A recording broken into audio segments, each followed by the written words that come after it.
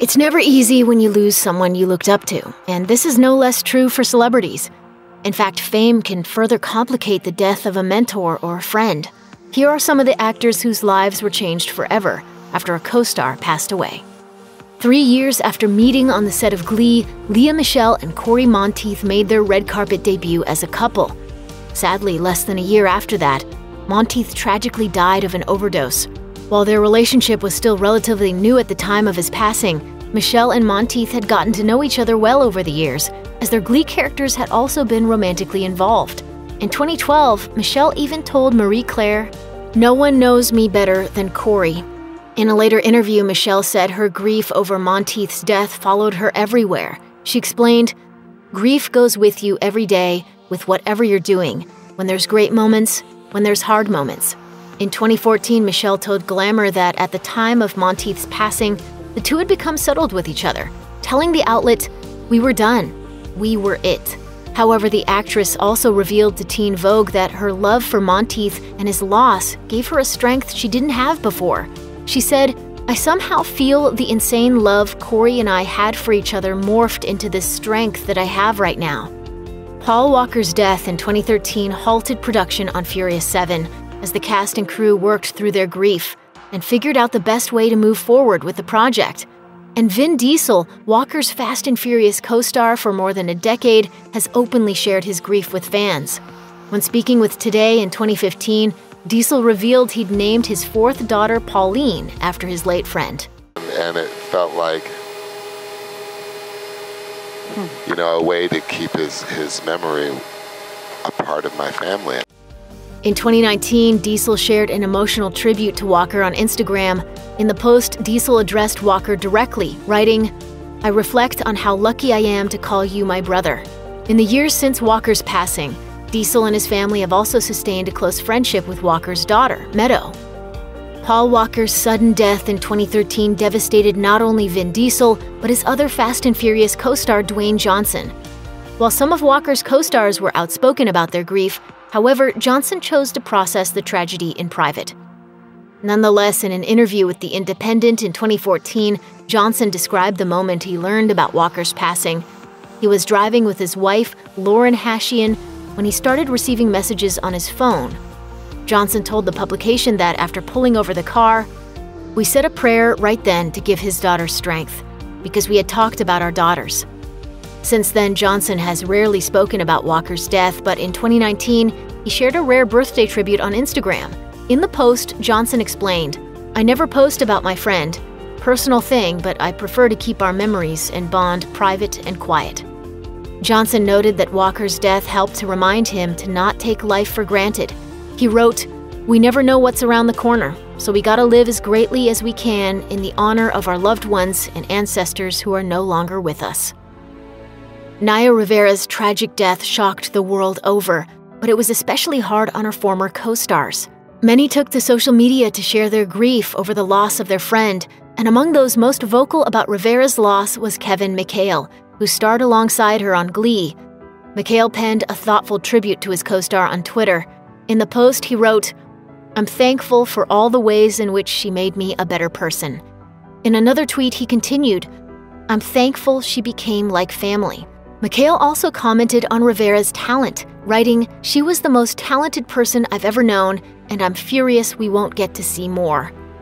In 2016, Star Wars fans around the world mourned the sudden passing of Carrie Fisher, who suffered a heart attack while on a flight from London to Los Angeles. One of the lives Fisher touched the most, though, was that of her on screen brother of 40 years, Mark Hamill. In an interview with The Guardian in 2017, Hamill spoke candidly about his longtime friend and co star. He told the outlet, It's devastating, and I still haven't come to terms with it.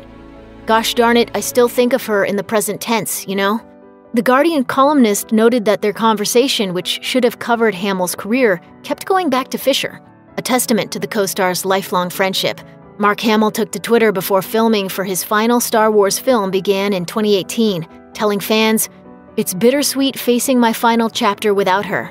She is simply irreplaceable. Carrie Fisher's passing left everyone in the Star Wars community brokenhearted. While those who had known her for decades no doubt dealt with the loss in their own unique ways, Daisy Ridley was just beginning to get to know the screen icon.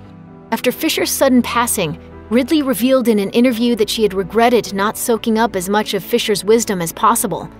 She told IGN that she wished she'd asked Fisher more questions, like life things, and how it was after they finished the original movies, and were they actually friends, and did they stay in touch, and how the filming experience actually was. But Ridley's short time with Fisher wasn't necessarily wasted. According to Elle, the Hollywood veteran imparted a crucial piece of advice regarding Ridley's rising fame to embrace her success rather than hide from it. Heath Ledger's death at just 28 years old left his friends, family, and fans totally heartbroken. Among those closest to Ledger was Jake Gyllenhaal, who had been the actor's co star in Brokeback Mountain. In the years since Ledger's death, Gyllenhaal has been open about how Ledger's passing at such a young age impacted him. Some eight years later, the actor told People magazine, Personally, it affected me in ways I can't necessarily put in words or would even want to talk about publicly.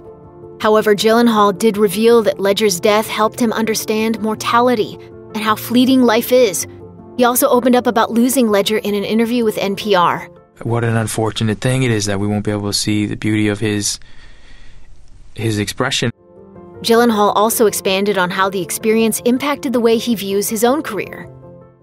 I'm trying to have relationships that are as real as they possibly can be on a movie set.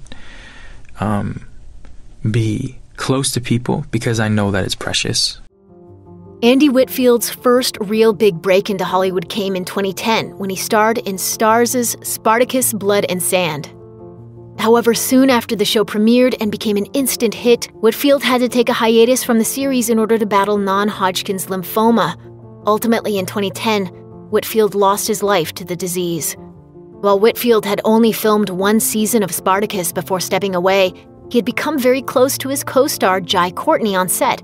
In fact, Courtney is even the godfather to Whitfield's children. As the star later told Entertainment Tonight, he became kind of a mentor, kind of a hero to me in a way. Andy was a very special friend, and his family I consider an extension of my own. Courtney explained to Collider that he learned a lot from Whitfield's approach to life. He told the outlet, It was just about getting real about your circumstances.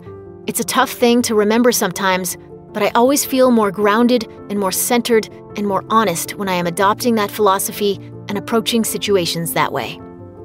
When Anton Yelchin died suddenly in 2016, the entire Star Trek community of fans, cast, and crew mourned together.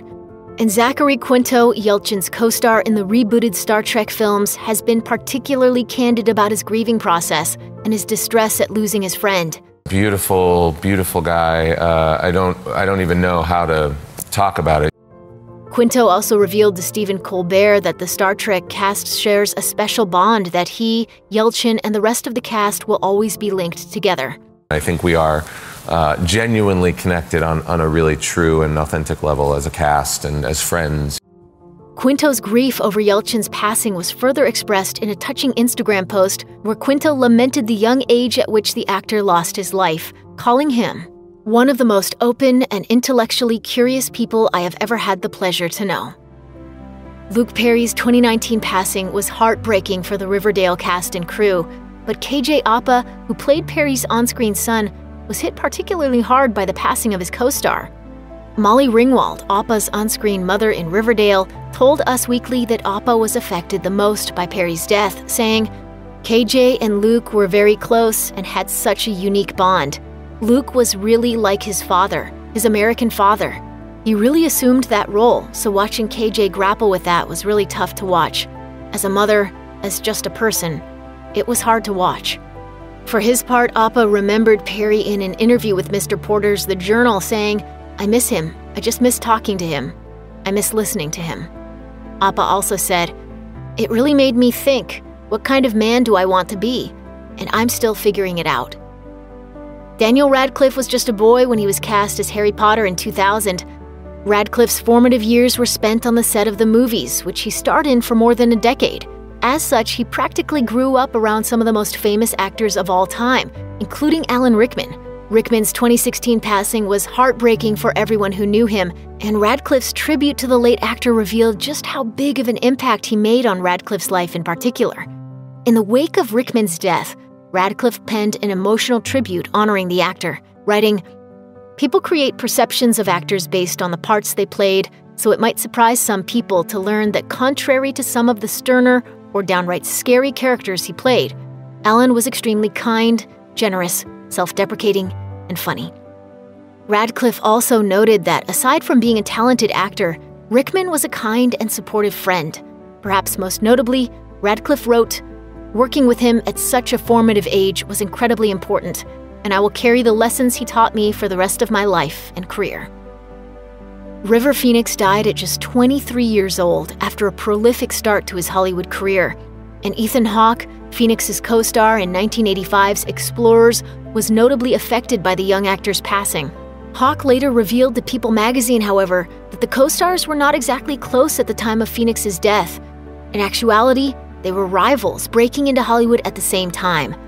People also noted Hawke lost a role in Stand By Me to Phoenix, and for his part, Hawke admitted, It was a nightmare for me.